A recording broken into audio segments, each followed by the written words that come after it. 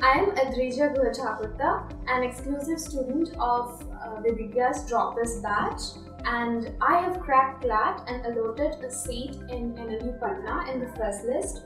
I've also been able to crack SLAT and I dedicate my success fully to Vidhigya and their constant efforts to keep us motivated throughout the year.